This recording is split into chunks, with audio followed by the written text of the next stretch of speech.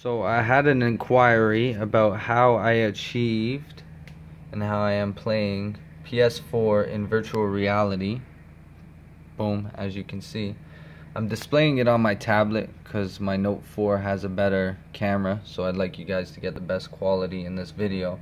As you can see, Remote Play, which has been developed by Twisted, much respect and thank you very much for all your hard work. Um, we have the PS4 being streamed to my PC, Windows 10, and on my Android device, I have what's being displayed there, being displayed on my Android device here, which if it was my Note 4, I'd put it into the headset I have. If I can find it right here yet. My Google headset. Stick it in here. Good to go. And so the program I am using, I'm gonna back out here, is called Trinus VR. And it can be found in the Google Play Store. There's a trial and a purchasable version. I'd recommend buying this.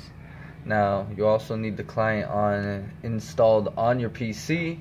Once you do that, you click this little button right here. And then on the tablet itself, boom.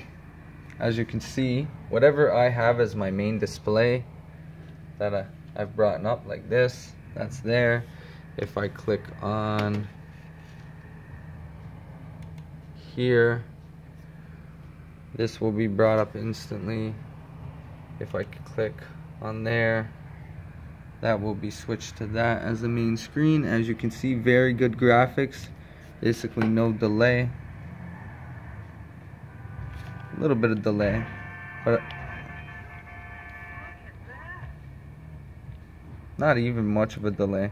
But a recommendation I can make is if you go back before you actually connect, you go into your Wi-Fi settings here. Trinus has a feature if you have Wi-Fi built into your desktop or your PC itself, you can actually connect directly to your PC's Wi-Fi card, avoiding your router, which can eliminate a lot of delay, and which I wasn't doing just now, showing you guys. So what I would do is I would actually connect to that I'm to type in what I have as my password. And then when I come back and show you guys, it should be obtaining IP address.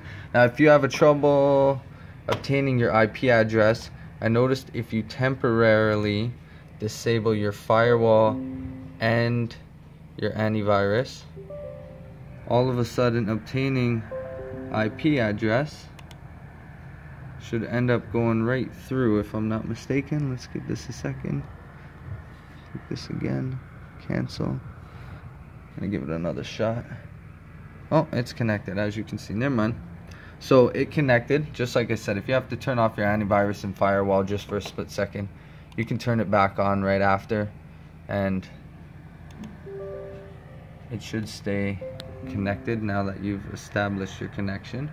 And now if you connect to Trinus VR using this method with more of a direct connection, I'll call it, to your PC, avoiding your router, you will get a more seamless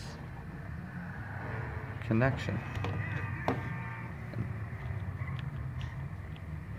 Just to show delay, clicking that button, nothing. Switch to the display settings.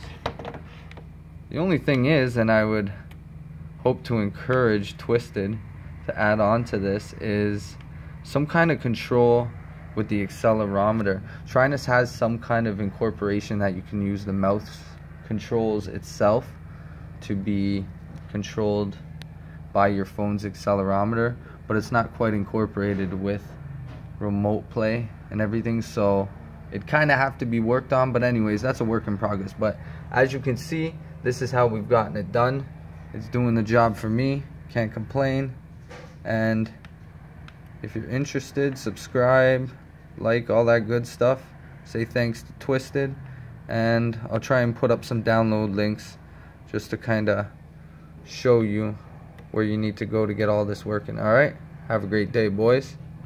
Take care and have fun.